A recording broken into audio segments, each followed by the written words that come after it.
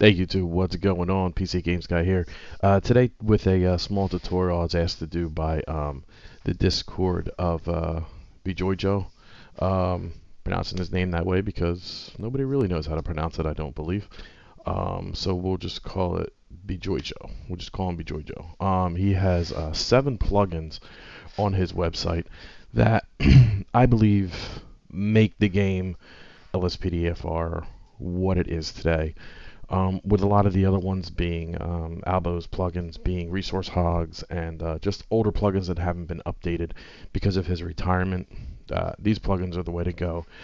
Um, highly recommend them all, and this is just a short tutorial for those who are either brand new to LSPDFR or you know at the same time just need a little help installing each of these plugins. So as short as this tutorial is going to be we're going to go through each of them um, I'm not going to download them all because you download one you download them all.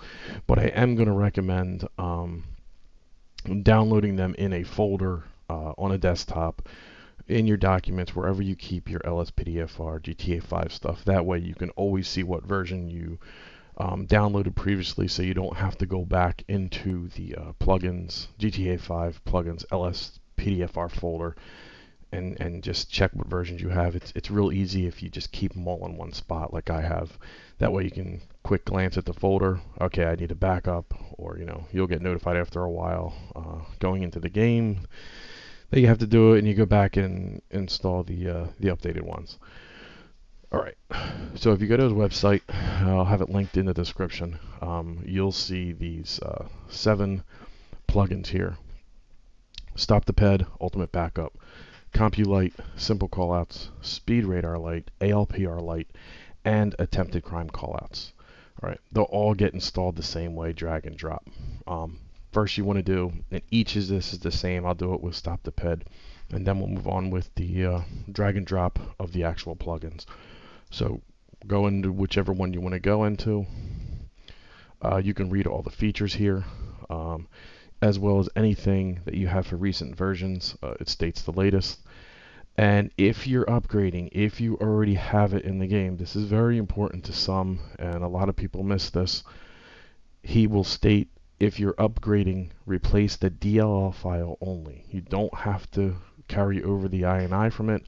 That way you don't have to worry about messing up your settings. You can leave them the way they are, just the DLL file. That means there was no changes in the .ini. Um, and it'll state what was improved and so forth and so on. So the first link you're going to come to, um, it'll say what's the date, what date it was updated. You're going to do main download link. It'll bring you to uh, Mega's file uh, website. It'll load up. And you'll want to click the green download button.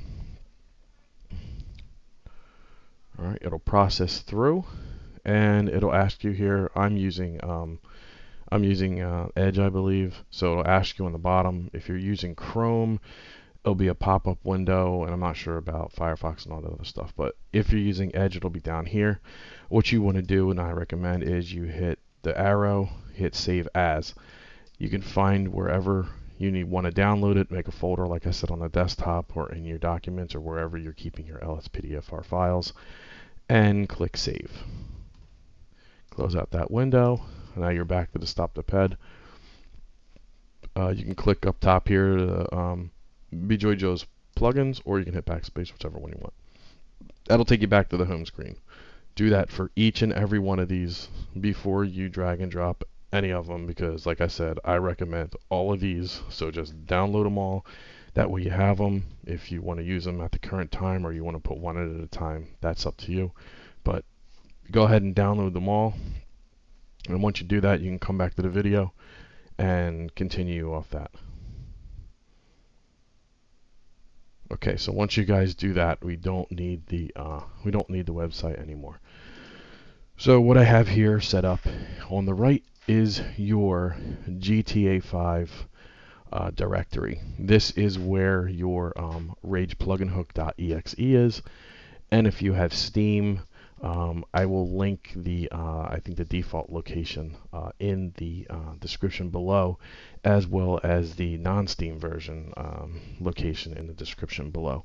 Um, may not be exact. Some people have different drives. Like if you see on the right, I placed mine in the D drive, Steam Library, Steam Apps Common, and mine just says Grand Theft Auto 5 because that's my base NVE LSPDFR folder, which I don't have them in there yet. So I'm actually going to drag and drop as we go along because nothing's in there yet.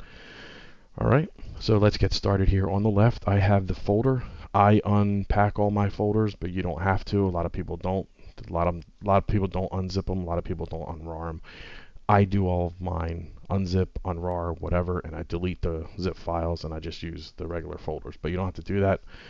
Either way, you can double click. We'll start at the top here, alphabetically, ALPR Lite. All right, this is what you'll have in there. You'll have a README, which will just give you a brief um, synopsis of what the plugin is about.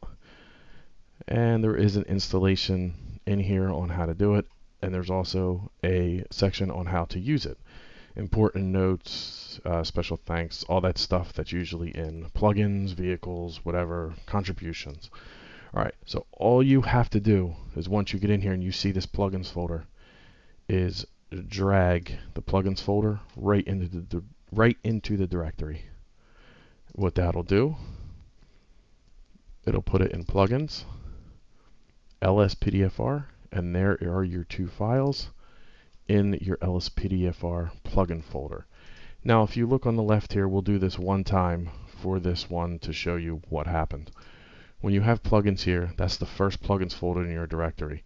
You open it, that is your uh, GTA 5 plugins LSPDFR folder. And inside that folder is your ALPR Lite, which is now in your LSPDFR uh, folder in your GTA 5 directory, in your game folder. Alright, simple enough.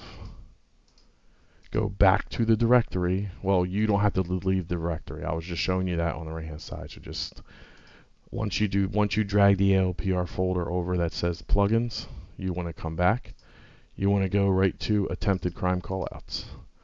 You want to find where it starts, and here you're going to have an extra folder. It's going to be the README, it's going to be plugins, and the extra folder is LSPDFR.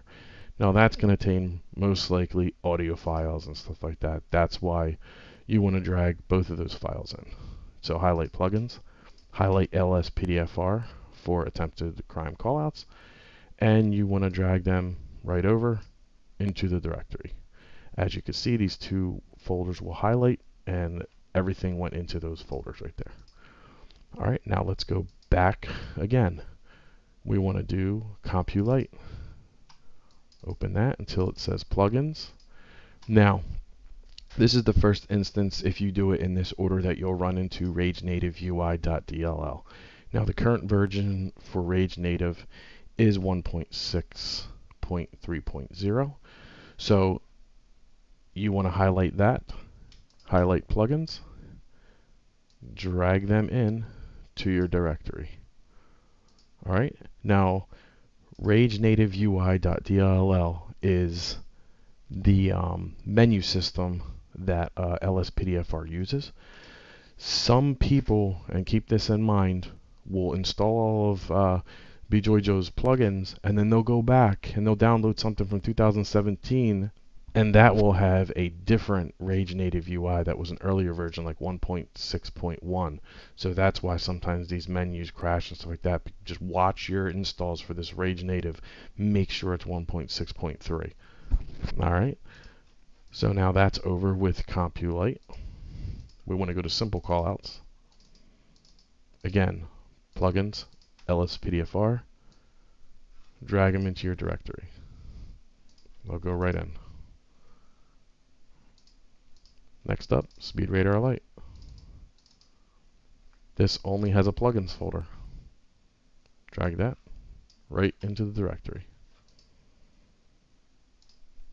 Stop the PED.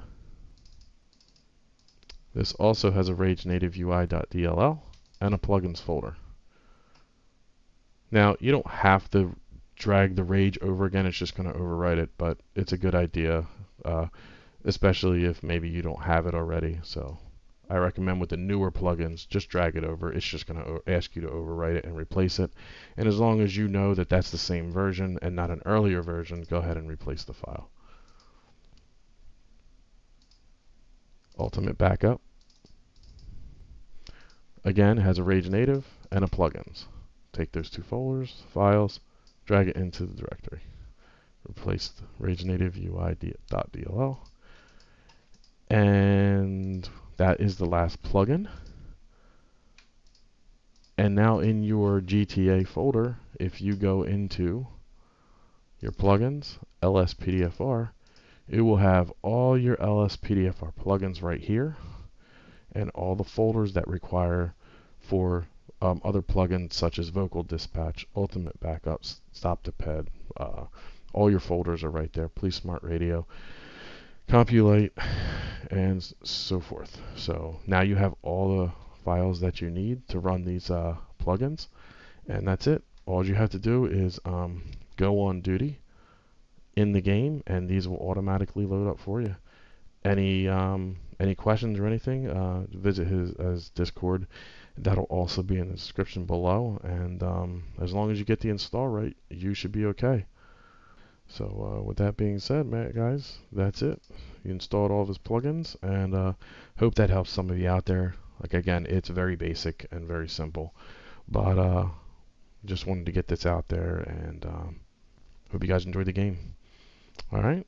So check me out on my channel. I got LSPDFR um, videos uh, that I upload, and uh, really appreciate it if you uh, come and check them out. So with that said, you guys have a good night.